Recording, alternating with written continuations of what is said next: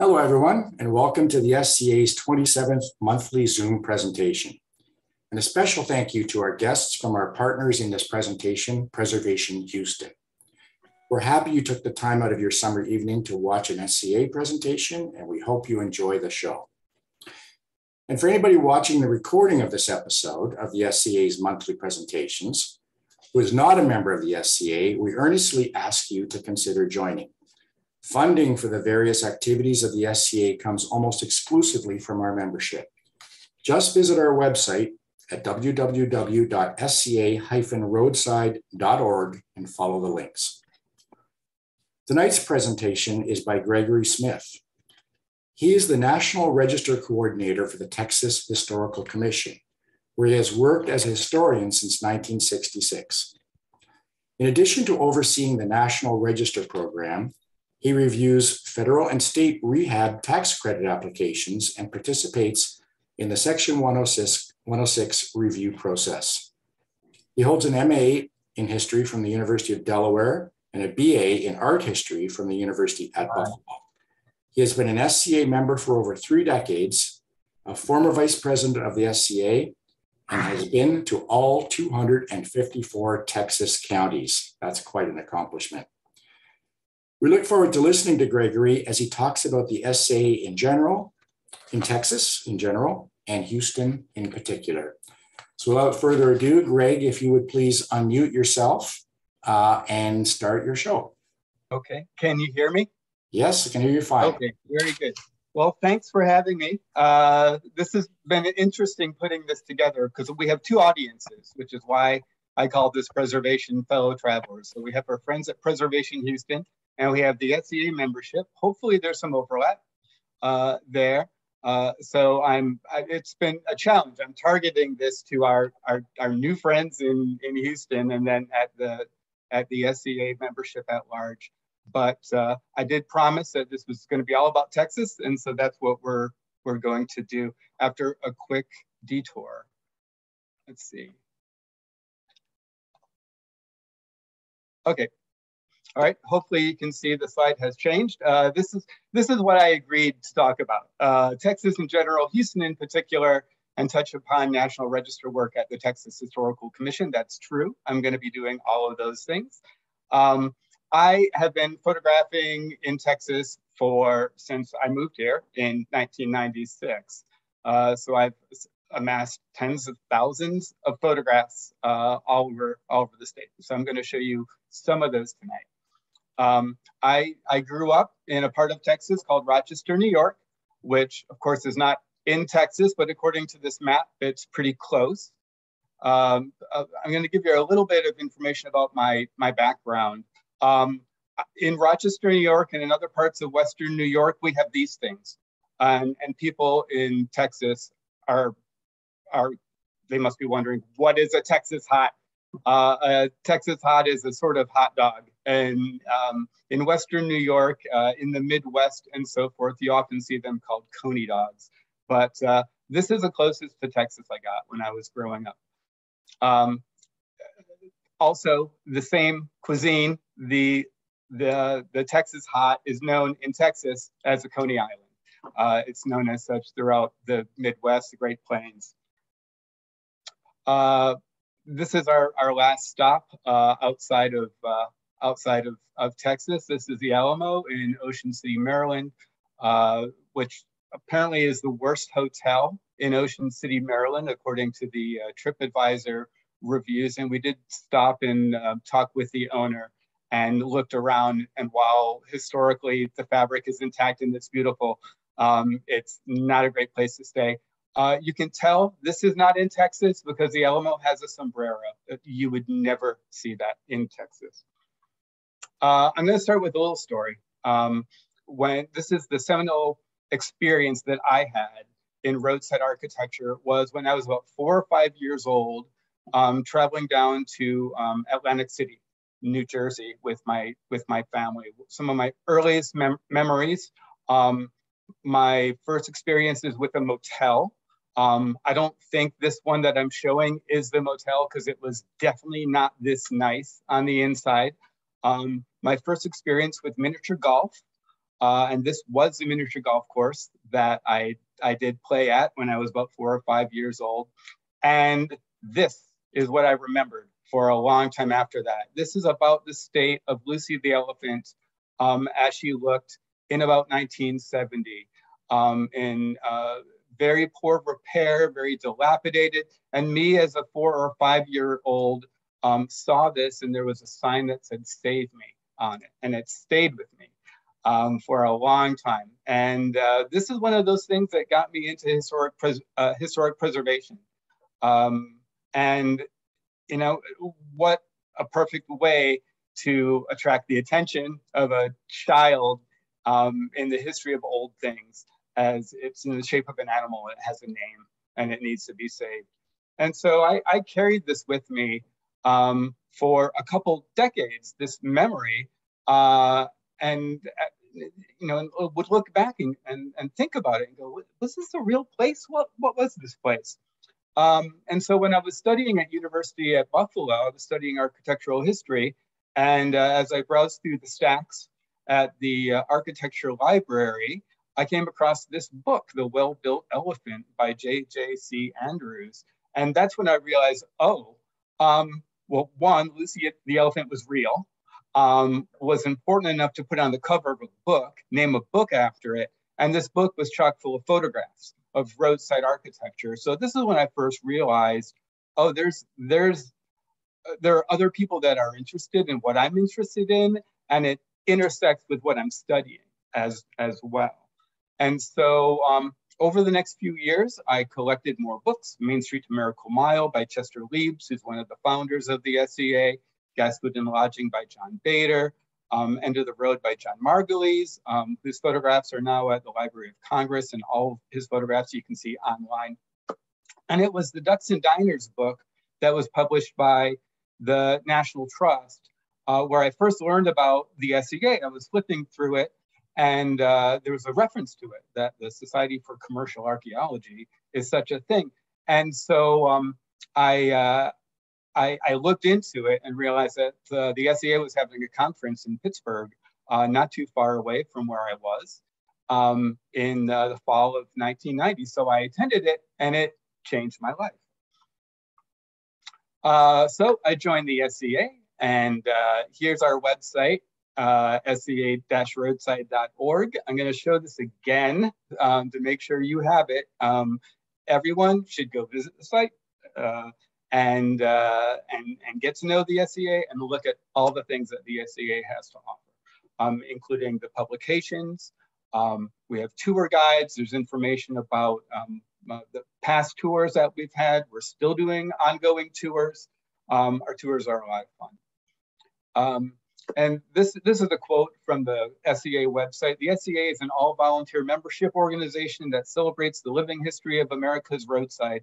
And I included some photographs of some of our roadside events, um, including a, a, New Jersey diner tour, our um, 2008 uh, tour in New Mexico, uh, where you can see that the happy the, the happy tour members. Um, this is right after we um, had um, put um, uh, the the large man figure holding the burger, um, he was uh, he was knocked down, and so we had a, a, a raising of uh, of of him as this group effort and took this photograph in in celebration of our our good work for the benefit of roadside preservation.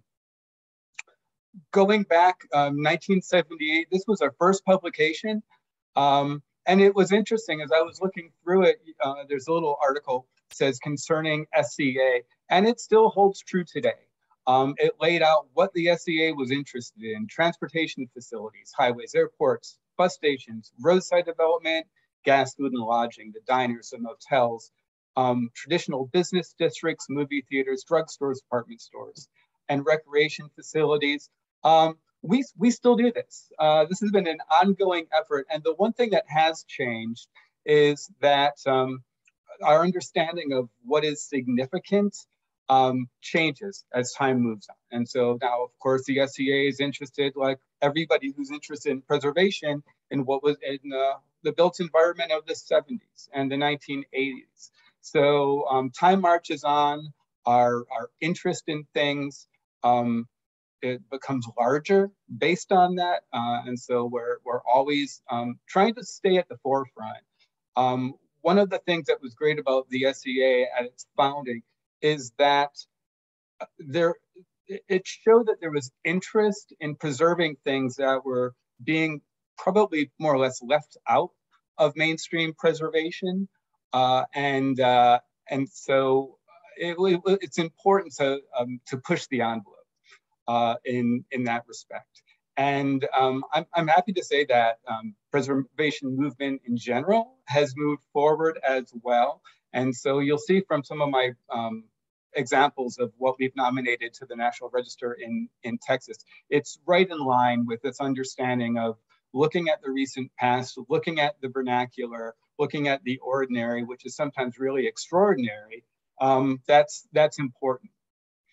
Um, as as uh, time has moved on, uh, the SCA has also uh, kept at the forefront of, um, of documenting the roadside. In the fall of 2005, we published a special issue on segregation on the road. I had an article that was featured in there um, where we focused on the realities of, of, um, of segregation and, and structural racism and its effect on the roadside. And so the SCA, um, a lot of a lot of what we study and aim to preserve um, are things for which people have uh, a lot of nostalgia. Um, but there are other sides to the story as well, and we really try to try to frame that um, as realistically as as as possible. Um, and then, you know, our our journal is published twice a year. Um, our journal is fantastic, full color with great articles. Um, this one um, features an article by a Guy Car Carwile of uh, about the um, Jack Tar Hotel in Galveston. Uh, there's a great variety of articles um, presented, and this comes out twice a year. And so I'm showing the slide again, just to make sure you see our website, www.sca-roadside.org.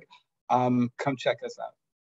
Um, all right, so I work for the Texas Historical Commission. So a lot of what I'm gonna be presenting to tonight is how my work at the state um, Historic Preservation Agency intersects with the SCA. Um, and so uh, we have a few other programs. I, as I mentioned, I oversee the National Register of Historic Places. We also have a Historic Highways program, um, and it's at our website, thc.texas.gov slash highways. And so we have done comprehensive surveys of, um, of the Bankhead Highway, the Old Spanish Trail, the Meridian Highway as they go through, through Texas. And so there's lots of documentation about these historic roads, including um, the roadside architecture, the fabric of the roads themselves. What you're seeing here on the left side is a, probably the best preserved um, section of brick highway. This was an interstate highway. Um, at the time it was built, a section of the Bankhead Highway um, in, in Eastland County and the Bankhead Hotel and Apartments also um, uh, not, not far from there in uh, Strawn, Texas. And so a little bit more information about the Historic Highways pro program. Um, you know, go, go check out the website. There's lots of information. Um, the Texas Historical Commission started as um, the state uh, historic survey committee uh, before um, we even had a state preservation office. And so the, the task of this committee was to go around Texas and, and document things that merited preservation. And so there were teams of people that went out and photographed and, and, and documented these properties with a survey. The historical marker program in Texas was established at that time. Uh, in the 1970s, the Historic Survey uh, fo focused on uh, taking medium format photographs of sites all, all over the state. Um, and all of these photographs, 25,000 of them, are now being shared on the portal to Texas history. So I've got the URL there, texashistory.unt.edu. It is a huge website full of all sorts of documentation. But the Texas Historical Commission is one of the partners, so lots of our photographs are on there. As you can imagine, the photographs that were taken in the 1970s, for the most part, are going to be photographs of 19th century through early 20th century buildings. But uh, even, even when the, the subject of the photograph might be a Victorian era building or a series of buildings, um, as you go through the collection online, uh, you, you find things that they just, you know, just got captured along with it, including a lot of great neon signs, a lot of great roadside architecture in, in city centers. So uh, this building, 219 Main Street in Houston, it's been demolished, unfortunately, along with everything on the block. It's now a parking garage, but we have this photograph and you know, holy cow, the pink pussy cat. Um, so, I mean, this wasn't um, the, the subject in the mind of the photographer, I'm pretty sure, when this photograph was taken. Probably uh, at the time wished that the pink pussycat sign and the other things were not there. Um, but we're really fortunate that this has been preserved. All right, so I'm going to go into the National Register of Historic Places um, and uh, just show you some highlights of, uh, of roadside related properties that have been listed in the National Register in, in Texas. It's not all of them, um, but it's quite a few of them. And they're roughly chronological order of when they were listed. Um, we've done a lot of work on Route 66.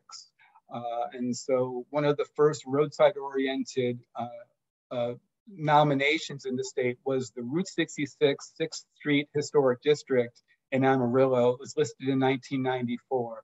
And it includes uh, a mix of roadside related resources like uh, there's a gas stations and root beer joints and so forth, but also the sort of um, one and two part commercial block buildings that you would see on a typical main street um, on Route 66 or off Route 66.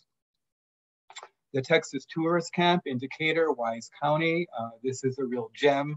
Um, uh, uh, using a lot of petrified wood. Um, there are other parts of Texas that also have a lot of petrified wood. Uh, Glen Rose, not too far from Wise County, being one of them, where there are multiple buildings um, made out of petrified wood. So this was listed in 1997. I, I started at the agency in 1996. Um, I know in my introduction it said um, it was 1966, which I would have been one year old, and that would have been remarkable.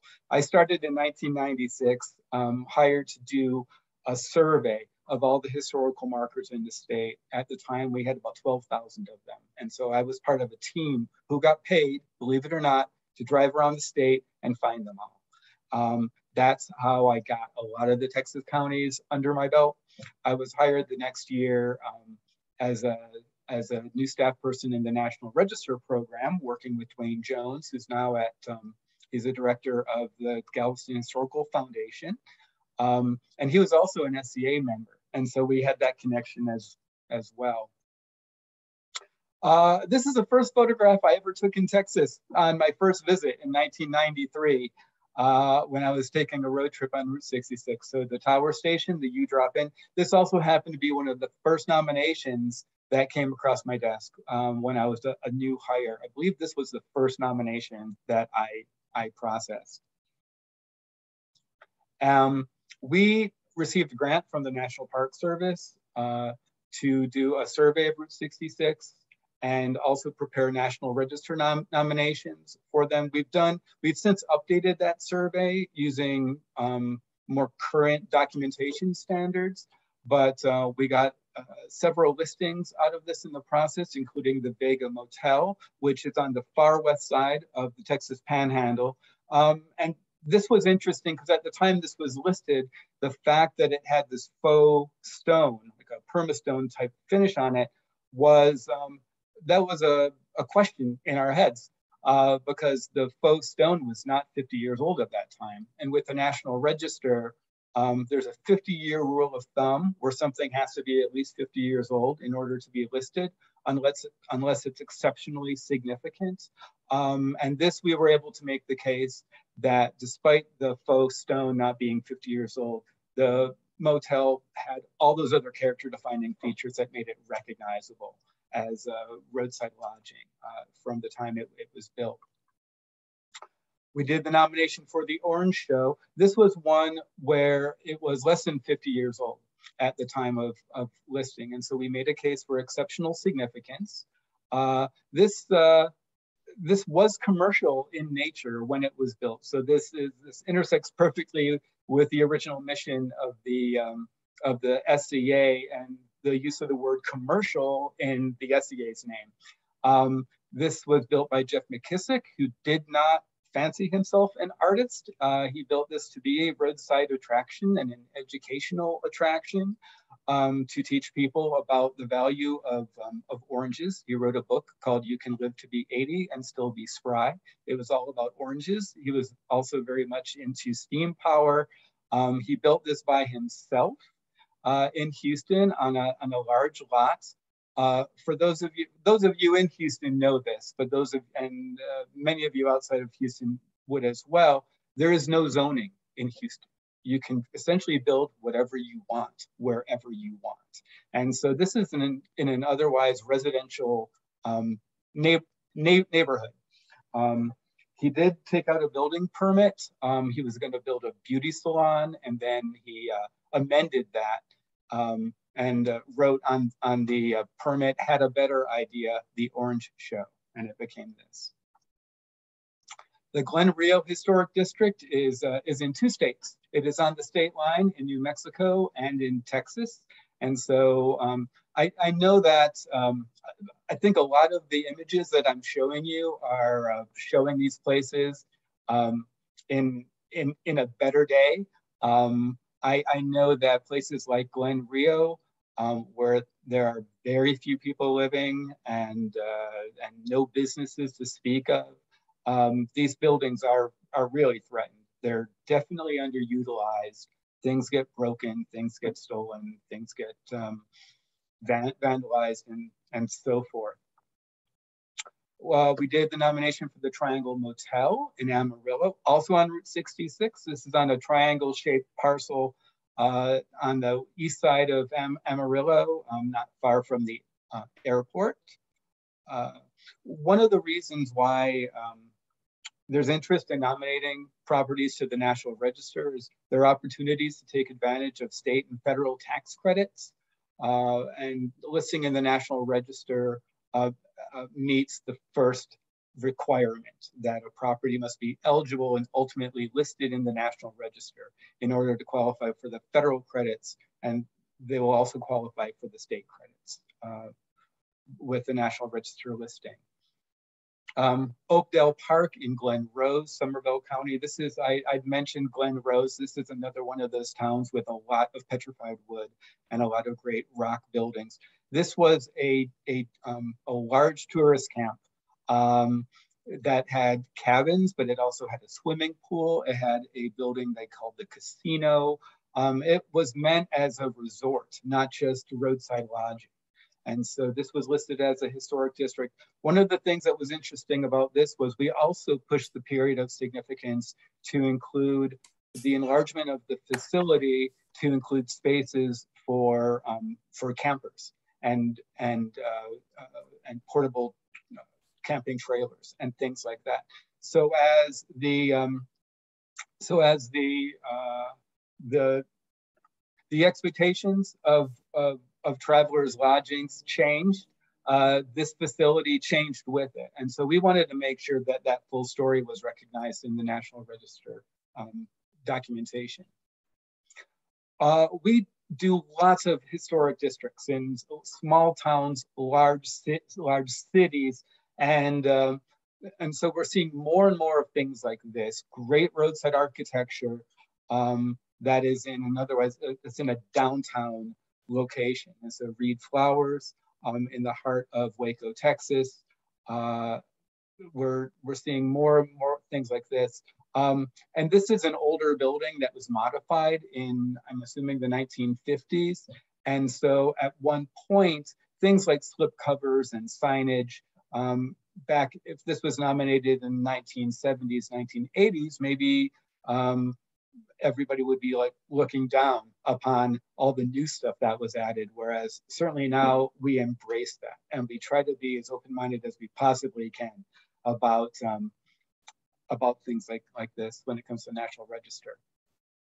We've nominated segments of the highway, including many segments on Route 66 in the Panhandle. Uh, this was one that we did a few years ago, the Old Spanish Trail, which was a road that I was familiar with. Uh, I'd gotten a call um, from somebody who asked if you could nominate a road to the National Register. Um, we receive calls like this all the time. Almost all the nominations in Texas are initiated outside our agency. Um, we frankly don't have the time to pick and choose what's going to be nominated. We have so much interest coming from people all over the state. And so I'd gotten this call saying, hey, can you nominate a road? And uh, I said, well, which road? And as uh, the gentleman was explaining what it was, I said, I know this road. I've traveled on this road. Um, yes, let's let's do this.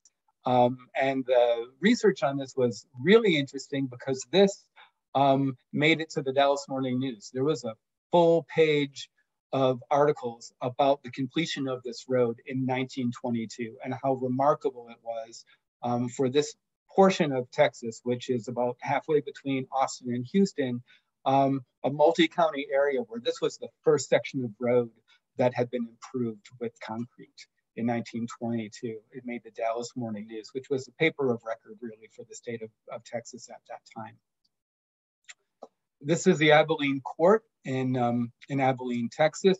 This is this is one that I first discovered when I was um, doing the historic marker research, and at the same time um, tracing while I could the um, the route of the Bankhead Highway across the state. And uh, this is what really got my attention was the ghost signage on this thing that advertised rates of one dollar and three dollars per night, which was remarkable.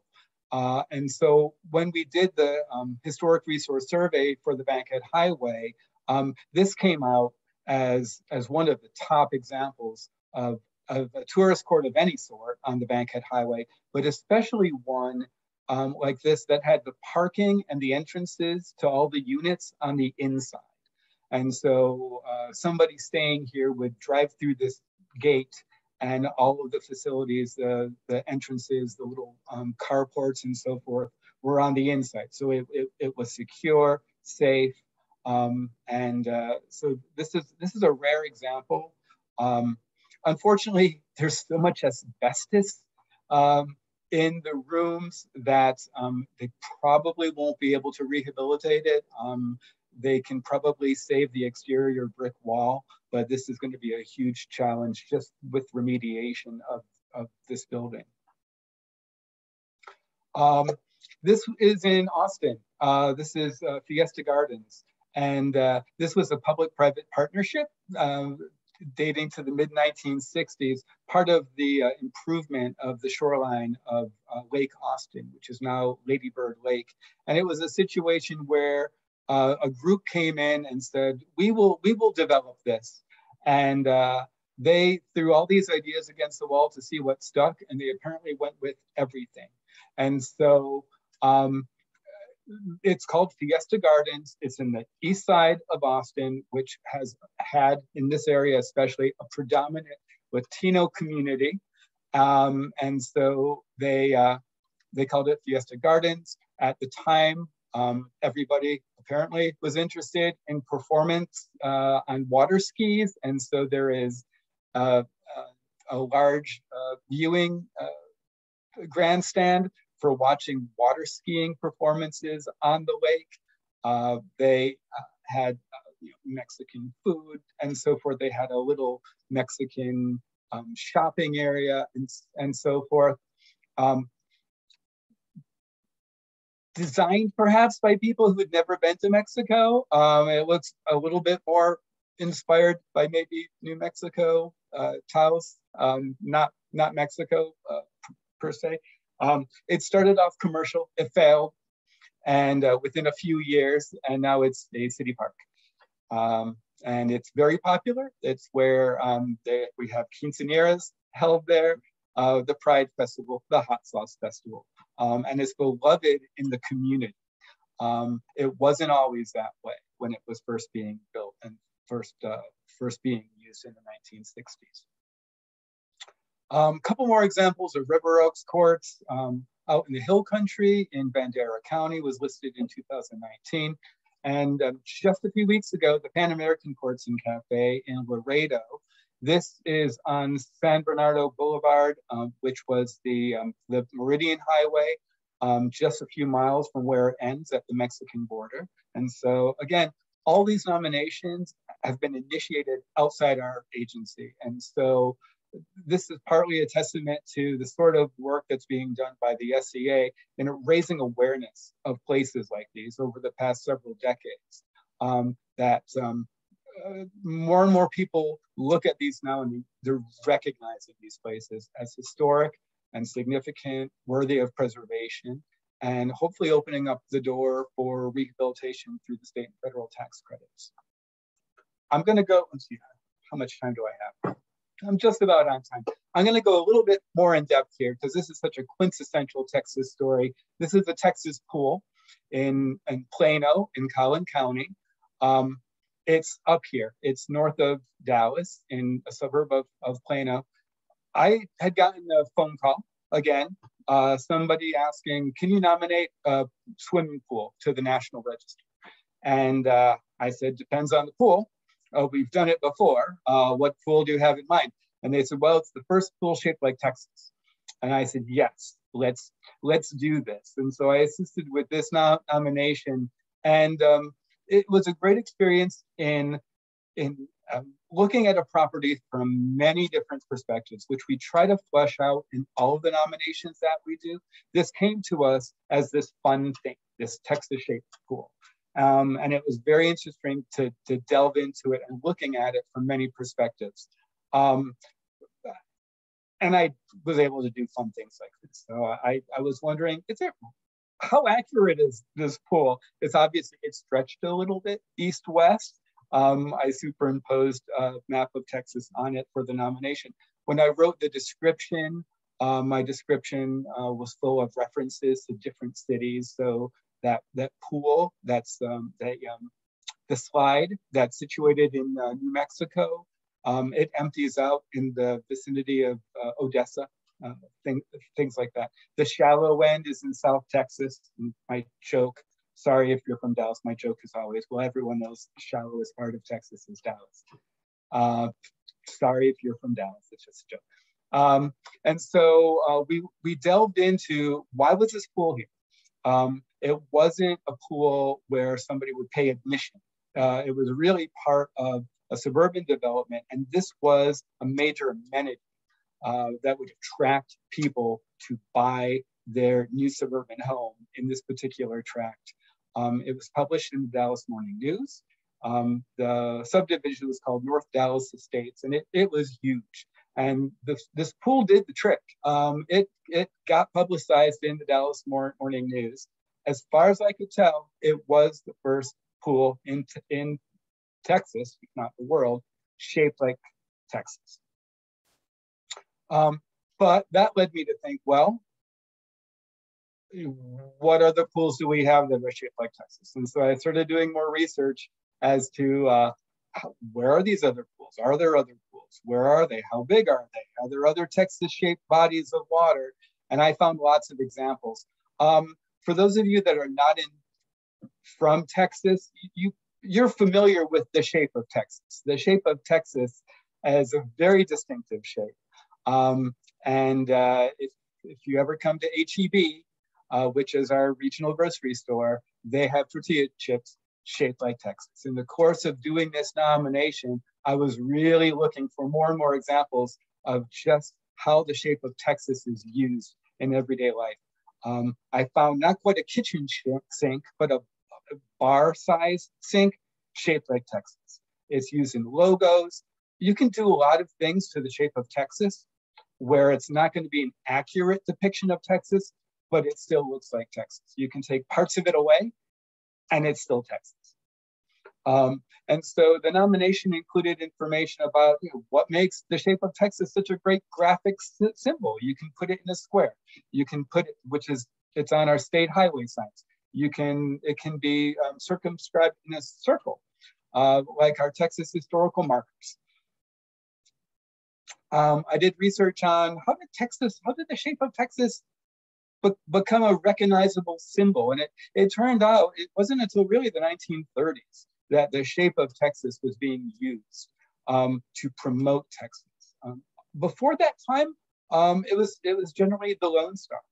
Um, so around the time of the Texas Centennial in 1936, you saw it being used more in advertising, literally at the side of the road, at um, dozens of, uh, of, state entrances um, along the border to, um, to the outlying states. You would be greeted by the shape of Texas as you, uh, as you came in. Um, going back to these other Texas-shaped pools, I looked for as many as I could. Um, you've got the Big Texan Pool, uh, which is um, off of Route 66 in Amarillo, Six Flags uh, Fiesta, Texas, uh, giant theme park. Um, sometime after 1995, um, up in, uh, Nor in Normandy, there was an, uh, not long after the Texas pool was built, there was a, another development that promoted its Texas-shaped pool. Um, those of you in Houston know the Lazy River on top of the Marriott Marquis Houston. Um, it's a pool, it's also a lazy river, um, which is on top of a building. It's remarkable. That's probably the most, the most recent example. But then bodies of water, I found one that's approximately 645 feet across. Um, there's more than one of these um, stock ponds, um, usually on a ranch or farm, um, where the owner takes such pride in the shape um, and in the state of Texas, this is one up in Rockwall. This is the largest one that I know of. Um, the Gulf Coast has been sort of blown out, uh, just erosion or what have you. Uh, but as I said, you can you can mess with the shape, and it still is recognizable as, as a shape of of Texas. Um, and then ultimately, I, I, I looked at in the whole notion of other Texas shaped pools and found a smattering of ads in the Dallas Morning News just in a five year period of apartments um, promoting Texas style living Texas shaped pools. So this was a thing. Um, I also talked about the, um, the reality of segregation. So this was a pool that was built in the Texas suburbs in the 1960s. And so the whole notion of who got to own these houses um, obviously not African Americans. It, it, would have been restricted at that point. And so um, we, um, we include that information in all the nominations that we do as, as applicable. Um, so we're, we're telling the full story and not, and not just who was included, but who was excluded and, and why. Um, coming up, the Longhorn Ballroom in Dallas. Uh, this is, um, you know, one of those things that the the SCA would definitely pull over for on a tour. Um, I'm pretty sure it was on the um, on the tour of, of Dallas back in the 1990s. You'll see in the photograph on the left um, tonight, Sex Pistols, Merle Haggard. Um, this is when the Sex Pistols played in 1978. Um, our friend Steph McDougall um, is preparing this nomination. I assisted to flesh out the story of uh, the emergence of punk rock in Texas with the performances um, by the Sex Pistols. So here we have Bob Wills and the Sex Pistols, and everyone in between, Willie Nelson, Merle Haggard, um, and uh, uh, all the country greats had, had played here. Also coming up, this is going to be very exciting, especially for the folks in Houston, the Beer Can House. Um, I have been uh, working with the um, the uh, Orange Show uh, uh, Foundation, which owns the Beer Can House, and this nomination is going to be prepared um, at some point this year. We have already determined it eligible a long time ago, and so we're very excited to see this one come forward. Uh, for more information, if you want to see anything related to the National Register or actually read these nominations, you can go to the Texas Historical Commission website. Um, I think, do I have the URL. It's uh, www.thc.texas.gov slash NRHP. Um, that'll take you right to our National Register page and uh, you'll see a link to our database. And so you will be able to search our 3,400 not nominations. Um, almost all of them have been scanned. They're text searchable. And so you'll be able to download any of these online.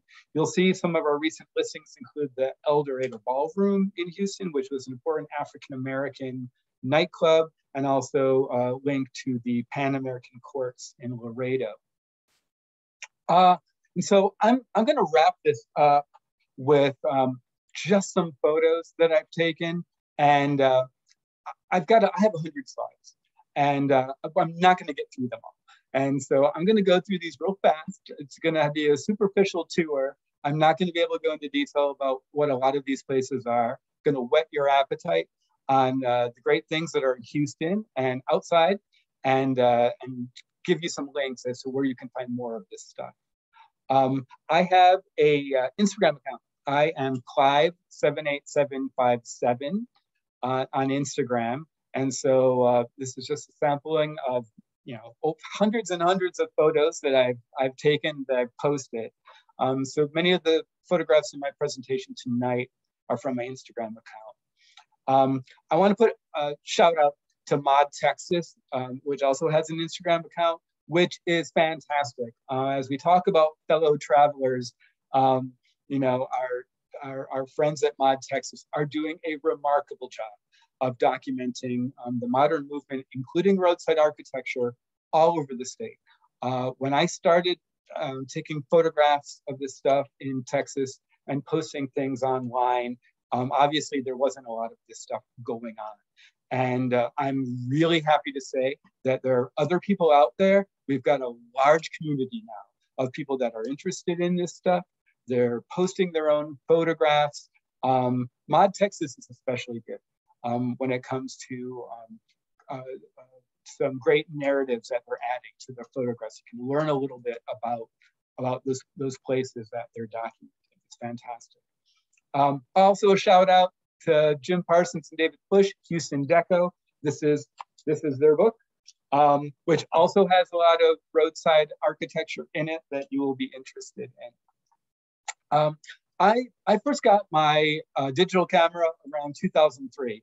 Um, I've always taken a lot of photographs of roadside ar architecture, but then with the advent of digital photography, um, I wasn't paying every time I uh, I, I pushed the I pushed the uh, I pushed the shutter key, and so um, I started taking photographs in earnest all over the place. And so uh, I, I, first started doing, trying to be as comprehensive as I could at that time, looking at the roadside environment, um, starting in, in Beaumont, Texas. And unfortunately, these next three slides I'm showing you, they're all gone. All of these properties are gone. This one always struck me. I loved this. This was a Texas State Optical Company that had been um, uh, repurposed as an adult movie theater. Um, but they kept the glasses and said, and printed, look, look in each of the lenses. Kind of dangerous to take photographs of places like this, especially with people walking in and out. Um, you got to be careful.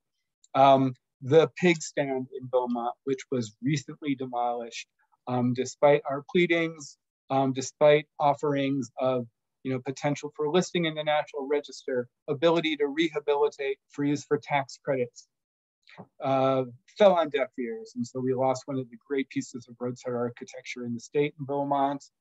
And then finally, this gas station, which is also featured in Houston Deco, um, 1937 gas station, which was torn down um, sometime after, obviously after I took this photo, it's gone as well. It's not, it wasn't far from the uh, pig stand. Um, just to show, I'm really glad I started taking these photographs when I did, because everything you see on this page is gone. Uh, the waffle shops of Longview. I, I took this photo just about four years ago, and that sign is gone. Um, the, uh, D, the Triple D Motel in Wichita Falls, um, somebody who actually lives in my neighborhood bought that sign. I don't know where it is right now, um, but it's probably coming to Austin. The Scott Theater in Odessa has been torn down. Um, the Hi Ho, uh, this was part of a wonderful assemblage of signs in Grand Prairie, totally mucked up, not recognizable. And this original portion of it, the Hi Ho Dancing Club, um, it's gone. Um, some more, these are also from my Instagram account. Back when I, I played around with the settings a little bit, um, made them a little bit uh, garishly colored. I, have changed my aesthetic since then.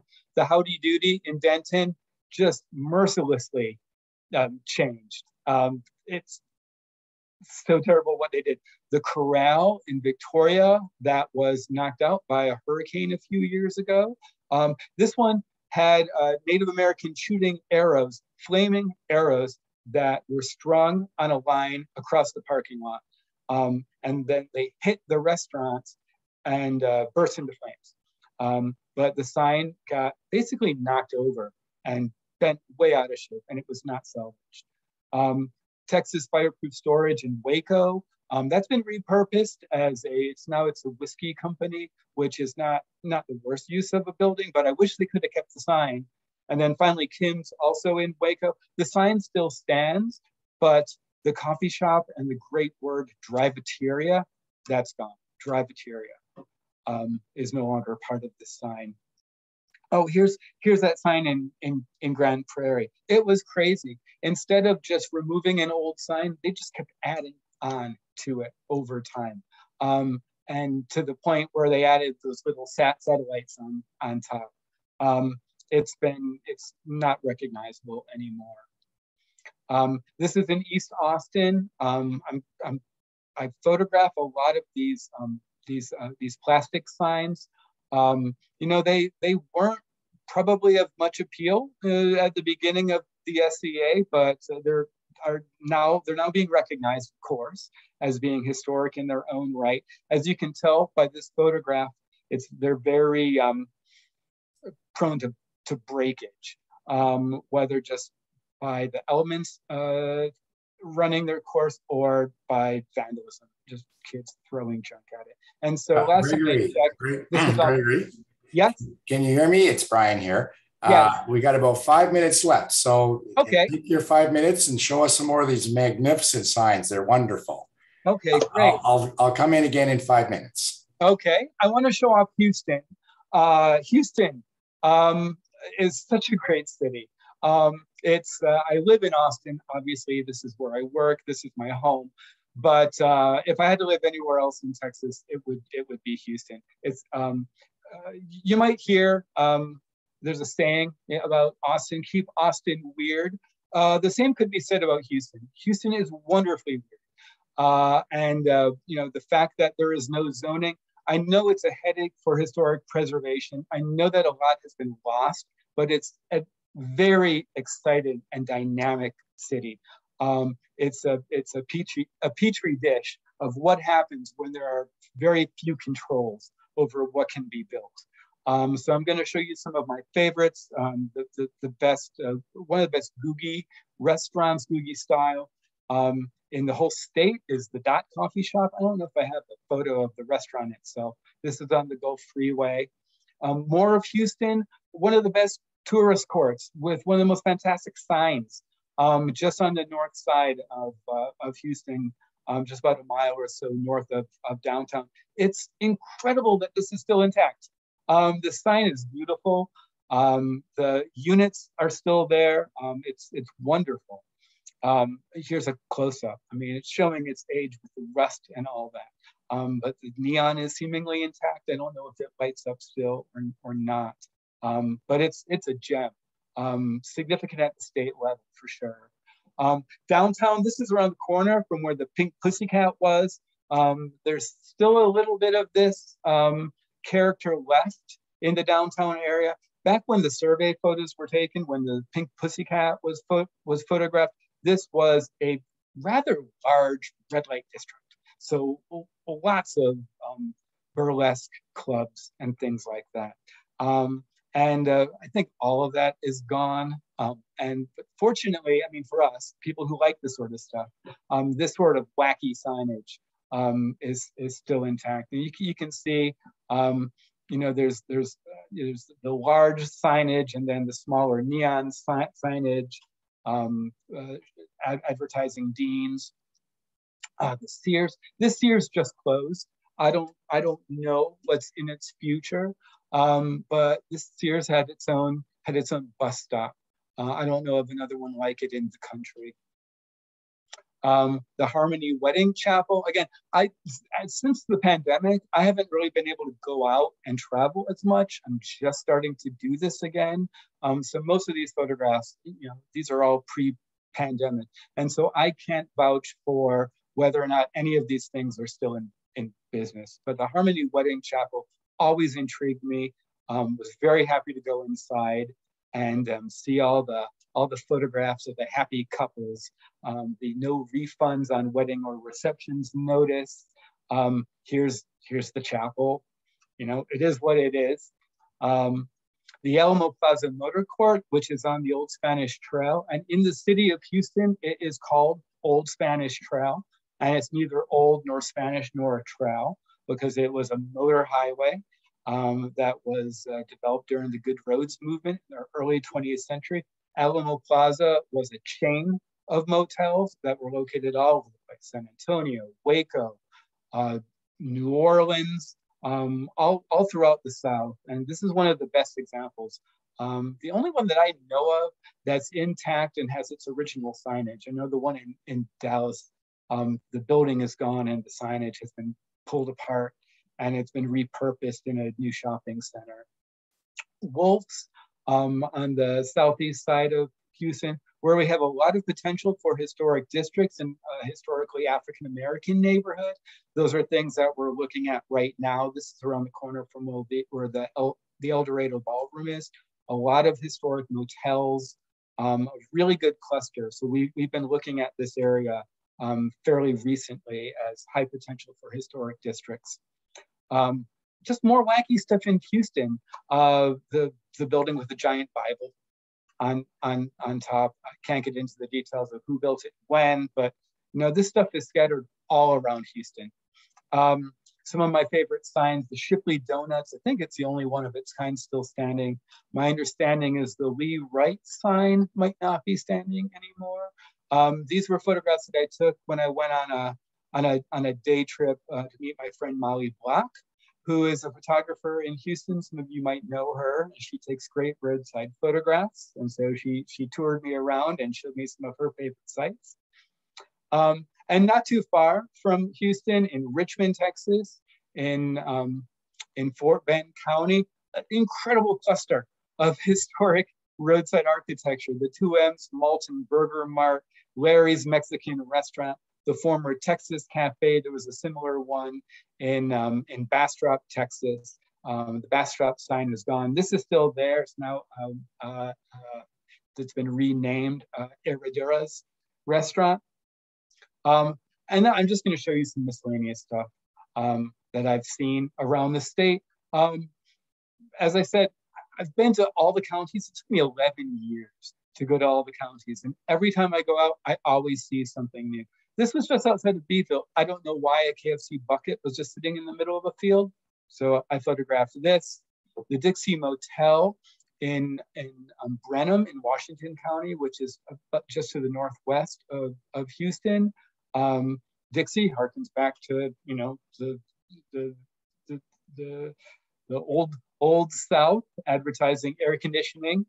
Um, we take photographs of things like this along the road. Um, contenders for the largest peanut in Texas. Um, we, we have gone out and measured. The one in Pearsall, Texas on the left is definitely larger than the giant peanut, which is not so giant, on the courthouse square in Floresville in, um, in Wilson County. Um, I'm interested in old dangerous playgrounds um, with old metal equipment that must get extremely hot in the summertime. This stuff because of safety concerns or whatever is being torn out as fast as I can photograph these things. This one is in um, Athens, Texas. Lots of these little statues around Texas. Popeye in Crystal City, which was spinach capital. White Deer, the namesake of White Deer, Texas, up in the Panhandle. I, I love this because this is Bovina, Texas. So here's your bovine statue, the Sands Motel, and then in the background, you know, this is the mainstay of Bovina, Texas. Um, you got the cattle and you got the grain, all in this one photograph with the motel in between. Um, the XIT on the side of the, of the steer is for the XIT ranch. which covered a good swath of the western portion of the Panhandle. Uh, more of these large things. Um, the Pilgrim, um, uh, outside of the Pilgrim Chicken Factory in, uh, in near Pittsburg, Texas, and the Giant Cowboy up in Randall County outside of Canyon, which was just repainted. Uh, one of the great okay, yeah, Gregory. Am I out of time? Yeah, it's it's eight o'clock Central and nine o'clock Eastern. So okay, oh, this is great. We're just I just one more minute and just a quick run through. How about you wrap up in a minute?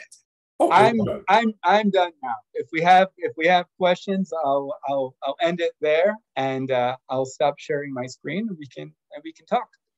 Okay, well, that's great. Now, who was that young uh, gentleman in the last slide that you showed sitting on? Uh, that was me. Uh, not that long ago. oh wow. Well, and, and, let me apologize for saying that you joined the Texas Historical Commission in 1966 because my script does say 96. I just misread it. So uh, I thought I'd comment on your age or anything like that. Well, that was a wonderful presentation. You know, it's, you, you go from, I was laughing my head off during half of it, especially with the marriage chapel and the Texas shaped pools. Um, and then you know it's sad when you get the um, the losses and the things that have been gone. So it was a real real up and down. But what a top notch show! I was highly highly impressed by that, and all especially the resource that you have down there in Texas. It's remarkable. Um, we have some questions, and um, actually, Michael Hirsch, our president, has asked uh, the first question. Michael, are you still on the line? If you can unmute yourself, you can ask a question about the Orange Show. Michael? No, Michael just asked the question. He said, Can you explain the Orange Show, please? Okay. Um, it was um, well, it was it was a built environment uh, made by. He didn't call himself an artist. His his his, his name was uh, was McKissack. Um, he was a former postal worker, truck driver, um, and uh, actually, while he was building the Orange Show, um, uh, William de Kooning came by uh, I think Marilyn Oshman or maybe Monique Dim, uh, Monique Dimanil, both of them patrons of the arts in Houston, uh, came by and brought William de Kooning to see uh, Jeff McKissack and, and the work that he was doing. And uh, he was introduced as a painter, and McKissack said, "Oh, you should you should come to Houston. There's lots of buildings going up. There's uh, lots of buildings need painting." Had had no concept of of of, of him as an artist, and and uh, he didn't consider himself an artist. Um, so he's a, a true visionary. Um, he was recognized as such, you know, as an as an artist um, uh, after, after he passed away, or around the time, you know, while he was building it, by people like Marilyn Oshman and Mo- and Monique de Menil, um, who recognized, hey, this is something. Um, and so a foundation was started to preserve it they started the art car parade and art car show in Houston, uh, which has been a, a, a, hallmark of Houston culture. Um, we attended it once when it was held in the Astrodome. Um, and so he, he built it. He expected 300,000 people a year to show up. Um, that obviously did not happen. Uh, he didn't have the capacity for it anyway. And he died very shortly after it opened. Oh, okay that's a sad, sad note, but very, very interesting. Um, we have a question from, um, oh, and by the way, Debra Jane uh, Seltzer has been uh, providing lots of commentary as you go along on various signs that you've showed, because of course she's a resident authority on signs. And so you'll see that all in the chat when, when I send that to you. Um, we have had a question here. Let me find it. Oh, yes, it's from Gregory Hasman. Gregory, are you still on the line? If you, if so, please unmute yourself and I'll, I'll just pose the question. It says, yes, oh, oh, I'm sorry. Okay, go ahead, Gregory. Ask uh, your question directly to uh, Gregory. Uh, great presentation. I appreciate it. Um, what are some challenges, maybe some newer challenges than you've seen in recent years regarding historic preservation, especially uh, that of signs? Well, you know, one of the issues, well, there's a few things. Um, one, I think they're being recognized as being significant to the point where there's now a huge market um, for buying these things. Uh, and so a lot of them are being saved. Some of them are being saved in museums. Um, a lot of them are in private collections. As I mentioned, there's somebody in Austin who's going around buying up signs. Um, some of them are on display at the grocery store down the street um, where we live. Um, we happen to have the sign from that grocery store in our front yard, uh, 25 foot sign uh, advertising the, the Crestview grocery store. Uh, and so, you know, there's a market for these things. And so, and they fetch a lot of money. Uh, so that's that's that's one of the issues. And then obviously, you know, the signs when they no longer advertise the business that's there, um, they become less useful to future owners and developers. And you know, definitely with the the growth of development all over the state, but especially in the big cities, we see it in Austin, Houston, Dallas, Fort Worth. Um, there are a lot of these new four and five story mixed use residential buildings that are being built. Um, the these generally nondescript four, you know, four or five story wood frame buildings um, that uh, you know maximize the um, the footprint of the lot that they're on. And there's there's no place for this. Uh, the roadside signs and uh, and and buildings and and so forth. So it's it's still a challenge, even though people recognize this, and even though people want to see these things preserved. Um, the the real estate market makes it that much more difficult. Um, we are fortunate that sometimes there's this intersection where we have an owner who, who does recognize the significance and does not want to sell out, you know, to the highest bid, um, just for the sake of preserving it and making the use of the building as it is. It's rare, but it it still happens. Okay. Any any follow up, Gregory, on that? I guess what can be done, um, especially with those signs going to big private collections. I live in Albuquerque, but I lived in Texas for nine years, and I've seen what it's done here as well as in the Lone Star State. Uh, what what can be done for residents and people in communities who want to preserve these signs? Well, I mean, unfortunately, um, we're looking at the highest bidder. Uh, and so there's a few, I mean, I know a lot of museums and so forth have been able to um, make use of old signs. Um, some of the larger ones are are difficult to move and preserve and and so forth. But unfortunately, you know, the the greatest means of preserving something is to own it yourself.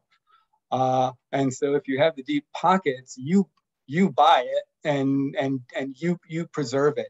Texas is a very strong property rights state.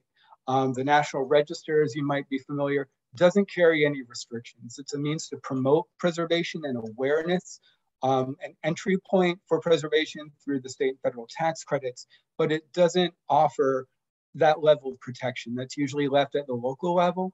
So there are cities, um, several, you know, lots of them in Texas, probably around 50 or more, that have their own preservation ordinances. Houston is one of them where um, historic districts and historic properties can be designated at the local level um, through a program that offers a means of protection with some restrictions as to what that owner or future owners can do with that, that property. Um, sometimes some are more strict than others. Uh, so that's, it's, it's tough, uh, especially, especially in, um, in places where property rights reign, reign supreme. Well, it's interesting because uh, in the SCA journal that that Gregory uh, showed at the beginning, uh, we have a column, a, a monthly, a regular column called Ephemera, and it's uh, the woman who writes it. It's usually paper-based things, menus, that sort of stuff.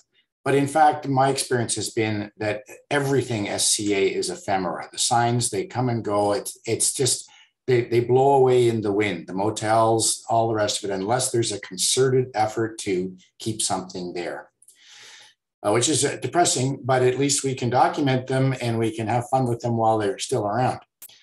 Now, Gregory, another question for you. Are you aware? This is from, uh, let me see what the fellow's name is, Jerry Stefani. Jerry, are you still on uh, online? You can unmute yourself if you like. Uh, Jerry's question, Gregory, is Are you aware of any historic preservation organizations, especially involved with roadside architecture in the Dallas, Texas area? Well, um, aside from the, well, I mean, a lot of the larger cities in Texas do have preservation organizations. We've got Preservation Houston. In Dallas, we have Preservation Dallas. Uh, in Austin, we have Preservation Austin. Uh, San Antonio has the, the San Antonio Conservation Society, Galveston Historical Foundation. Most of these preservation organizations, um, most if not all of them, are in tune with the significance of roadside re resources. And so I don't know of an organization that specifically focuses on roadside architecture in any of those places. Um, there is uh, Mid-Tex Mod, uh, DocoMoMo has a Texas chapter. And so there's a lot of intersection there. Um, but I would say most cities that have a preservation organization has an organization that understands this and, and sees the merit in documenting and preserving these things. Okay, thank you. Now, that's the end of the questions in the chat. Is there anybody that would like to just make a comment? That, by the way, there's a ton of comments in here, uh, Gregory, for you about how wonderful your presentation was. Mm -hmm. Um, so, um, oh, here's one from Jeremy, uh, who's the uh, who's on the board of the SCA. He says, "I wrote a thesis in 2020 about protecting historic neon signs that gets into some of what Greg has suggested, and he provides a link uh, there for anybody who's interested." Uh, any other questions or comments from any of our viewers? We still have 43 people online. Um, just unmute yourself and and say hello and and talk to Gregory. Anything? Okay, well, we're running uh, way over. it's 9 11. Uh, that's like not to, uncommon for me. Sorry. Yeah, 8 11 in Central, so that's a little better earlier. Over here on uh, in the East Coast, people are starting to think about going to bed. Um, Gregory, that was a top notch presentation. I thoroughly enjoyed it. And uh, I've actually, I've never been to Texas, but I am looking forward to our, I think our 50th anniversary conference is scheduled for 2027 in Austin, Texas. And so that will be my first visit, and I'm really looking forward to it. I'd like to thank you again for the time and trouble you took. And also, I'd like to thank uh, Preservation Houston and particularly Jim Parsons for reaching out to do this collaboration with the SCA. We've done a number of them now, and uh, and it's um, it's proving to be a very fruitful association. And as I said, in two months' time, on Tuesday, September 19th, Preservation Houston will be providing a show about the House of the Century, which all the SCA people will be invited to watch that one as well. Now, I would like to remind everybody about next month, uh, which is uh, Wednesday, August the 3rd, coming up soon at 8 p.m. Eastern. And uh, Irene Lule, who is the secretary of the SCA, and Beth Dodd, who's a curator of the Alexander Architectural Archives, and I might say is Gregory, our presenter tonight, uh, wife, a partner. Uh, we'll be talking about personal collections focused on documenting the American roadside. So that's Wednesday, August 13th, 8 p.m. Eastern Daylight Time. Also, if you uh, know people that wanted to watch this, but they were not able to catch it uh, live, it will be posted on the SC website and also on the Preservation Houston website a recording of Gregory's presentation and also all the questions and answers. So uh, just refer people to there and, um, and we'll take it from there. So with that, I'll thank you again, Gregory, and I will wish all of our viewers from the SCA and Preservation Houston uh, a good night, and we'll see you next month. All right, bye. Thanks for coming.